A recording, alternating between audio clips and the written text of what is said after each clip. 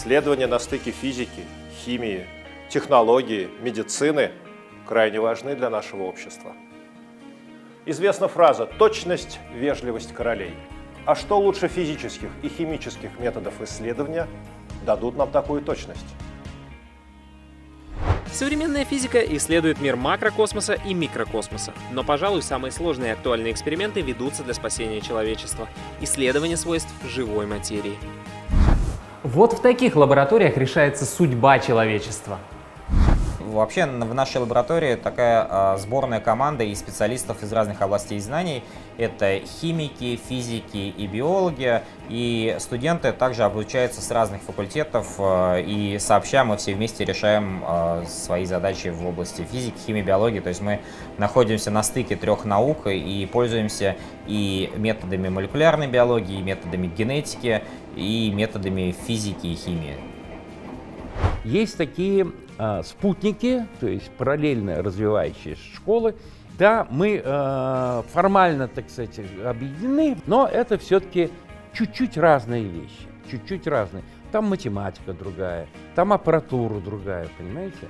Но мы идем параллельными курсами. Именно физические методы в современном мире стали основой доказательной медицины и фармацевтики.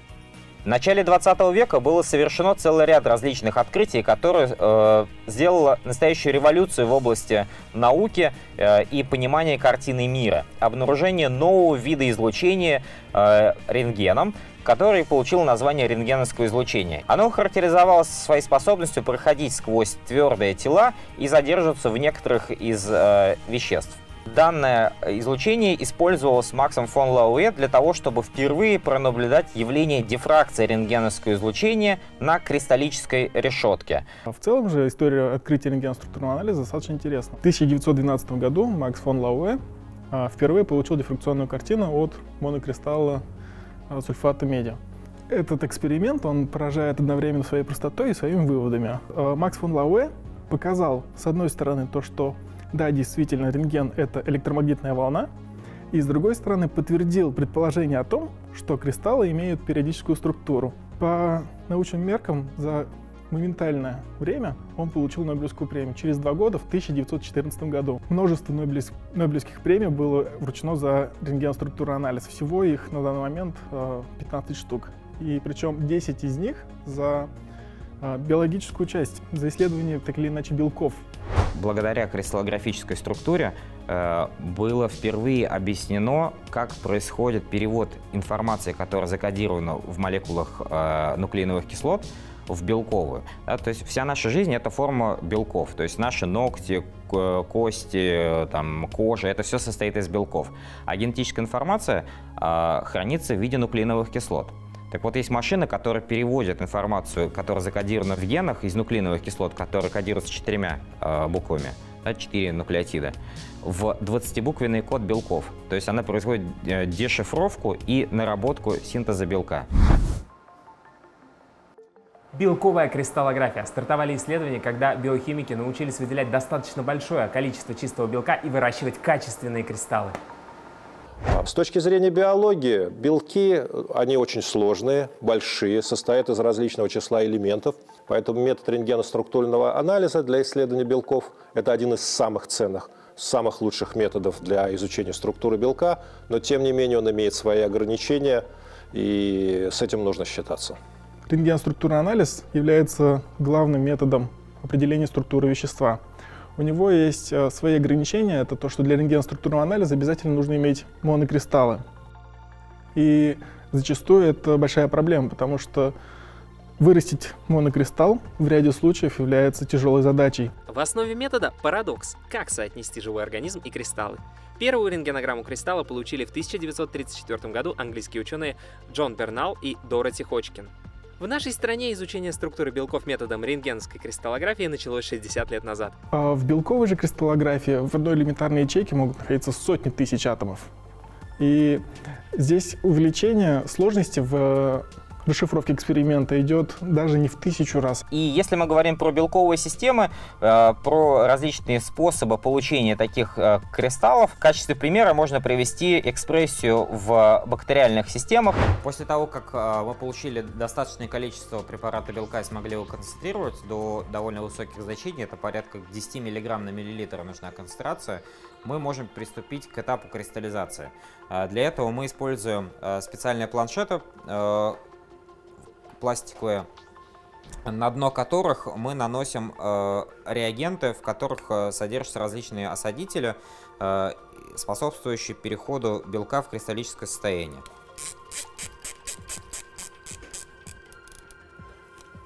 Мы добавляем каплю в каплю, то есть смешиваем препарат белка с условием кристаллизации. То есть таким образом у нас получается замкнутая система, когда на дне э, резервуара находится жидкость, э, в которой находятся осадители, и над этим резервуаром висит капелька э, с, с концентрированным белком. Либо можно использовать специальные термостатируемые большие комнаты. Ну, мы используем такой небольшой вариант термостата и оставляем их на длительное время. Мы просматриваем эти капельки в микроскоп и смотрим, э, есть ли у нас где-то э, зародыш этих кристаллов. Сейчас мы посадили э, кристалл нашего соединения на петлю. Петлю видно на экране. И монтируем кристалл таким образом, чтобы он всегда был в центре пучка. Здесь у нас ганиметрическая головка, которая может поворачиваться по четырем осям. Таким образом, чтобы со всех сторон посмотреть дифракцию от кристалла. К нашему времени в лабораториях получены кристаллы нескольких тысяч различных белков. Вот в совокупности э, всех этих методов исследования и то, что у нас есть хорошие специалисты в Казанском университете, наверное, это и дало толчок тому развитию, которое мы сейчас имеем в нашем университете, что очень многие белки расшифрованы здесь у нас. Медицинская физика, биомедицина стоят на страже человеческого здоровья. Современная физика решает задачи борьбы с пандемией и тестирует лекарственные препараты. В Казанском университете лаборатория структурной биологии была открыта в 2014 году в программе повышения конкурентоспособности ТОП-500. Марат Юсупов, возглавивший исследовательское направление, работает во Франции. Такая позиция позволила казанским ученым выйти на высокий международный уровень. Лаборатория занимается изучением взаимодействия антибиотика на живую клетку, исследует влияние структуры белка на его функцию. Именно в научных институтах разрабатывают новые методы диагностики и лечения, и на самые сложные проблемы находятся свои решения.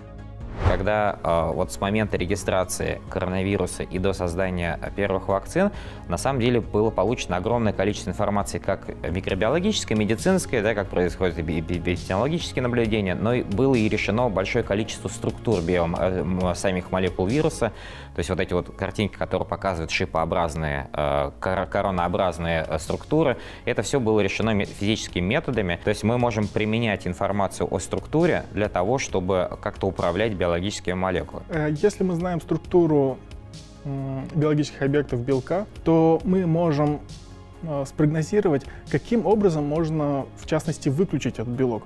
Если мы выключаем белок, то в целом организм перестает функционировать, и, ну, то есть он погибает.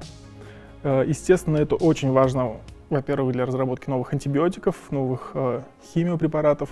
Прошло совсем немного времени, и выработалась устойчивость к антибиотикам. И, соответственно, необходимо было ответить на вопрос, а почему это происходит, да? почему вдруг вот, какие-то новые лекарства, препараты ученые разрабатывают, и через некоторое время э, патогенные микроорганизмы перестают на них э, воздействовать. Бывает так, что клетка в результате э, эволюция, да, то есть она подбирает какие-то условия для выживания, берет и чуть-чуть модифицирует вот этого карман, куда садится антибиотик. И, соответственно, антибиотик уже не может связаться с этой молекулой, и нам необходимо заново решать молекулы мишени и говорить, ага, у нас вот эти вот группы поменялись, из-за этого наш антибиотик не работает. Тогда давайте мы поменяем молекулу антибиотика так, чтобы она в этот карман заново входила. То есть это такая постоянная гонка вооружений между человеком и патогенами. Сегодня определение структуры белков входит в практику фармацевтических исследований, а в основе провокационная идея – совместить несовместимое. Для исследования живой материи, а именно человеческого организма, часто приходится придумывать необходимые подходы. Ну, как вы понимаете, живая материя – это очень сложная структура э, с точки зрения и структуры элементного состава, и поэтому изучать ее не так просто. То есть э, человек, который этим занимается, должен быть в хорошей э, степени знать и биологию, и химию, и физику, ну естественно, математику, информатику в той степени, э, для того, чтобы получать, интерпретировать полученные данные. Все явления очень сложные и взаимосвязаны. Это было известно сто лет назад. Макс Борд, книжка у него есть «Физика жизни моего поколения». У него огромное эссе и подборка по поводу того, что такое жизнь и что может физика решить в этой области. Одно дело в целом понимать, быть междисциплинарником, а другое дело в каждой дисциплине заходить вглубь. Значит, человек, который хочет понять биологию, должен уже физику знать, химию знать, математический аппарат знать, моделирование знать. Та школа, которая создается, причем создается в разных институтах, в институте химии, в институте физики, в институте фундаментальной медицины и биологии, она э, э, на самом деле очень сильно выросла за последние там, 10 лет э, и привело к созданию таких действительно э, мировых научных центров, в которых ребята могут получать очень качественное образование, э, в, позволяющее им потом реализовать себя в любом научном центре, как в России, так и за рубежом. Синтез наук, междисциплинарный подход – это шанс новых открытий, это новые знания о природе вещей и явлений, новые спасенные жизни. Без физических основ, без структурного анализа живой материи человечество окажется в тупике. Развитие идей белковой кристаллографии – это наш шанс на будущее.